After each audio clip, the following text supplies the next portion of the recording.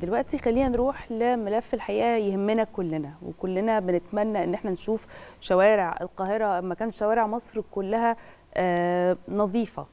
يعني في دلوقتي خطة آه جادة الحقيقة في هذا الملف ومحافظة القاهرة آه رسم خطة للنهوض بالمظهر الحضاري للعاصمة والتخلص من المقالب العشوائية اللي موجودة من سنين طويلة. المحافظة حددت عدد من الأماكن بالفعل اللي فيها مخلفات واللي هيتم نقلها للمقالب العمومية بالسلام وأبو زعبل و15 مايو.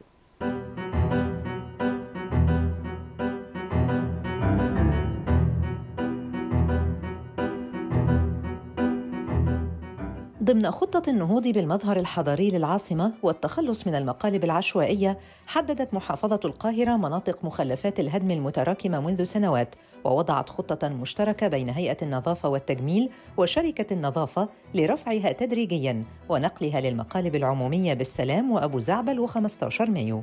الخطة تستهدف تدشين حملات مشتركة لهيئة نظافة وتجميل القاهرة والشركة المسؤولة عن النظافة لرفع تراكمات ومخلفات البناء بعدة مناطق بالقاهرة حتى الحدود مع محافظة القليوبية.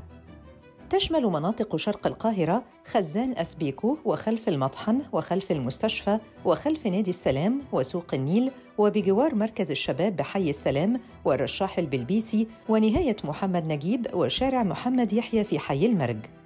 أيضاً تضمنت مناطق الخيالة ومساكن شرة بحي النزهة وفي حي مدينة نصر شرق مناطق محور محمد علي فهمي محور شينزو أبي المنطقة التاسعة خلف كارغاز والطوب الرملي وصقر قريش وشارع الميثاق وبجوار أرض جامعة عين شمس وكوبري الفطيم وشارع الساقة.